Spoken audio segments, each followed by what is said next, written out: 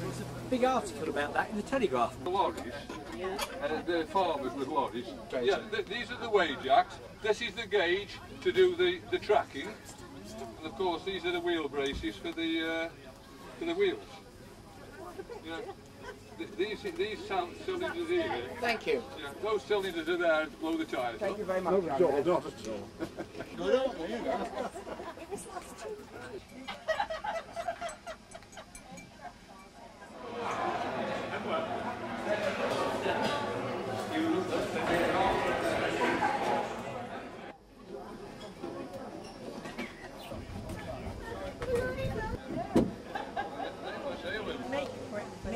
breakfast for the harem.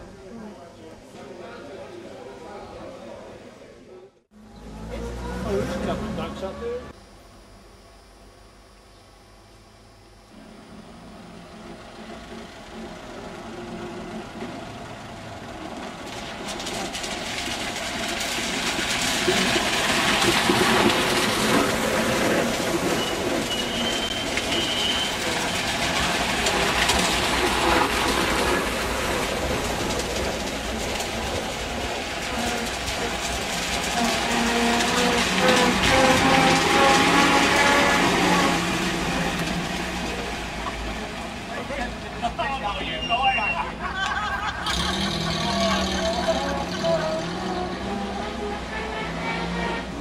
Here comes one.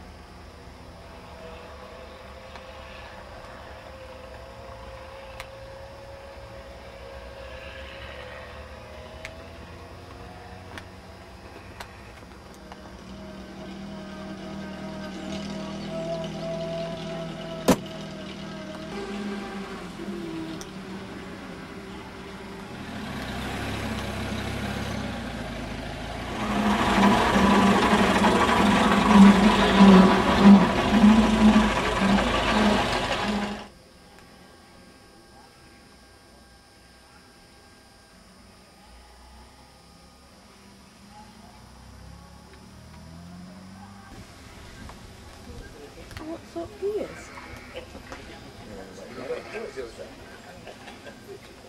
It was, it was, I hadn't got married, it was before I got married.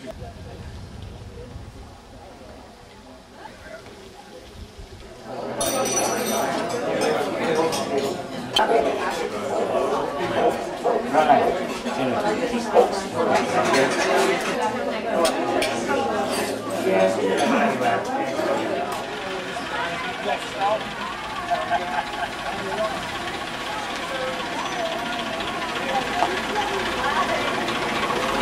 do you expect to go north for all these hours?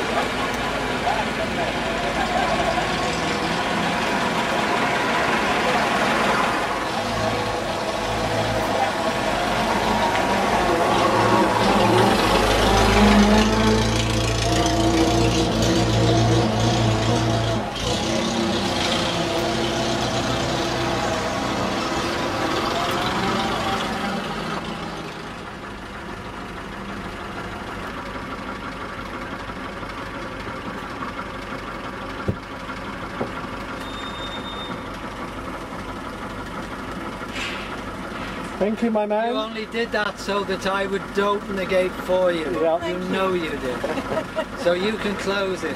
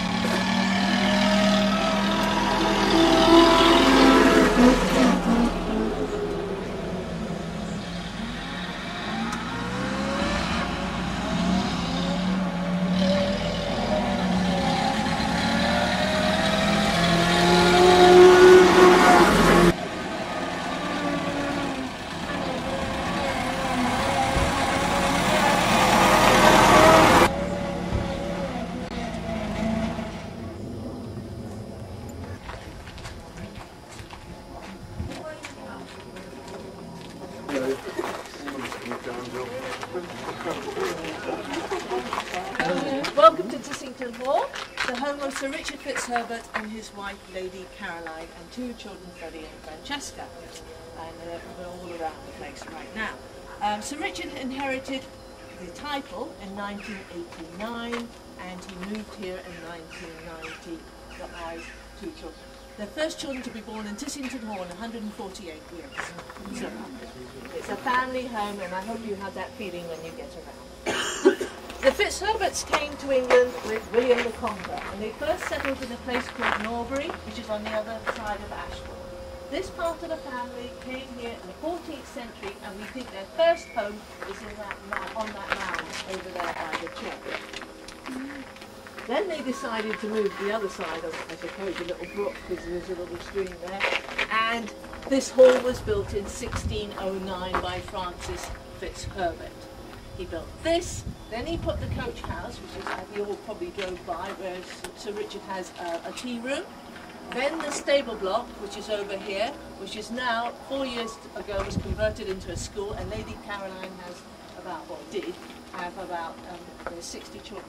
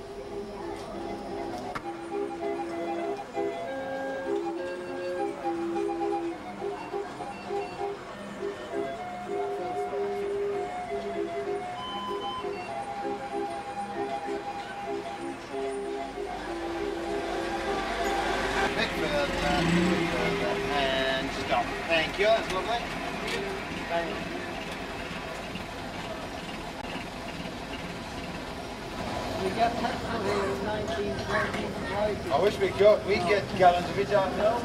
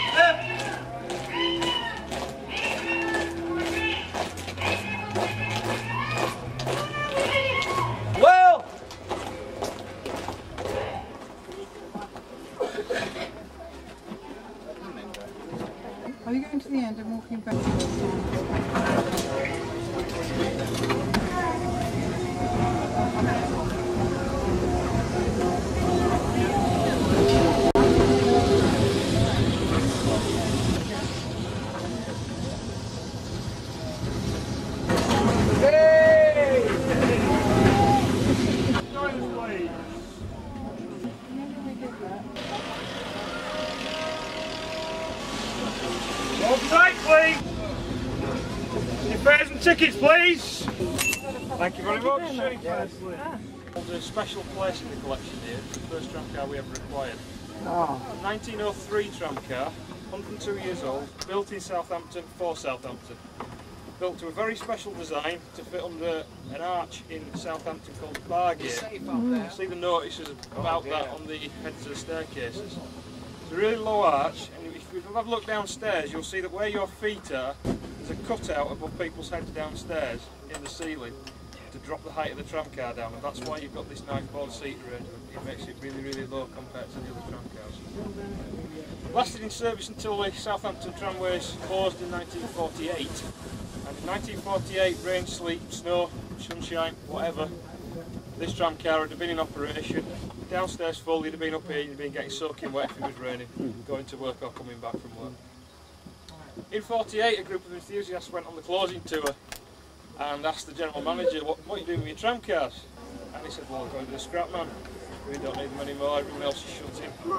Just going, we're, we're getting rid of them. So they bought it for £10 and this 57 years later, longer in, or longer in preservation than it ever was in service, is now in the museum. It was the start of our fleet in 1955 TMS was.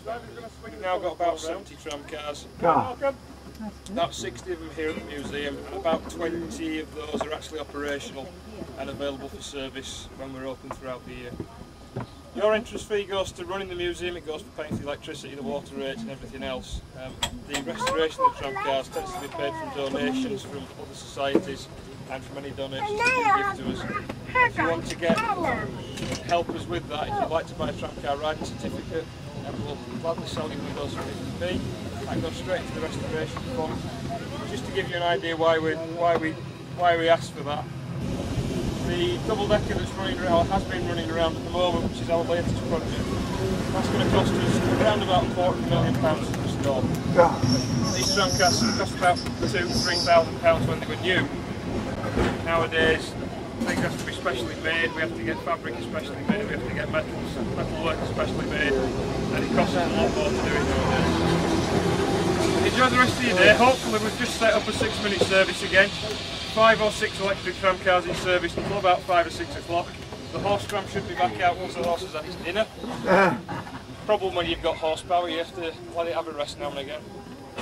Watch out for the suffragettes. I'm told that they're after getting the vote. I'm not too sure about the subject myself, but I'm told they're going to do a demonstration later about it. Uh, and, and about 4, 4.30, it tells you on the back of your programme for the day, there will be a handover from horsepower to electric traction. And I'm told the stable boys will be out uh, protesting about that. So if you do, if you are around when that happens, join in, cheer and, and shout. It all adds to the scene. Have a bit of fun. Enjoy the rest of your day. Anything you want to know, grab one of us, ask us, and we'll do our best to answer your questions. Above all, enjoy the sunshine thank you for bringing it with. We'll head back down now. No,